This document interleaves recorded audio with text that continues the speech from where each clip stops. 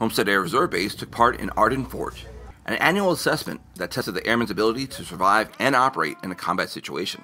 The assessment was designed to ensure that airmen are able to fulfill their mission requirements while deployed. Reporting for Homestead Air Reserve Base, this is Technical Sergeant Lionel Castellano.